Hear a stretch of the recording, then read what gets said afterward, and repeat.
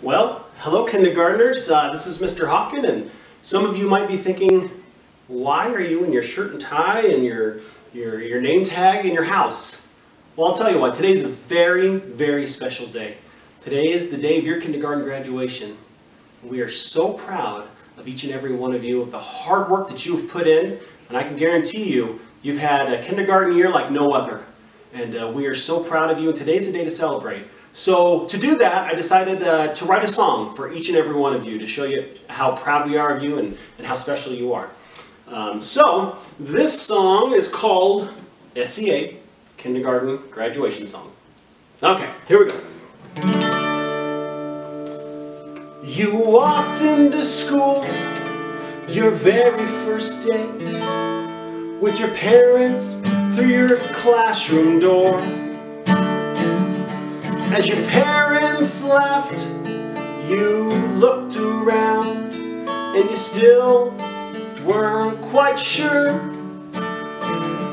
Miss Martinez, Miss Smith, and Mrs. Campos, they looked at each of you. They made you feel safe, loved, then they could teach. Today your day. You're off to first grade. We're so proud of you here at SCA. Even though you went home abruptly in March, your teachers, they kept in touch. With Zoom meetings, emails, and all that other stuff, but they still loved you so much. You still work so hard at reading and math, and your parents had to teach as well Thank you, parents.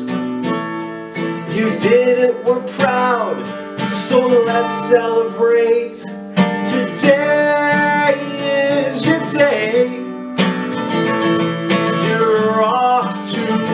first grade.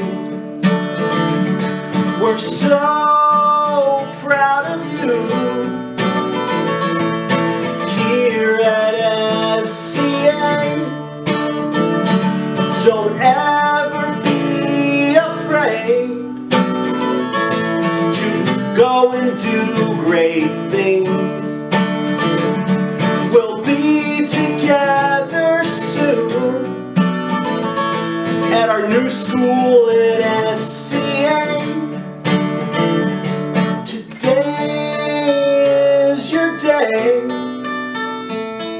You're off to first grade.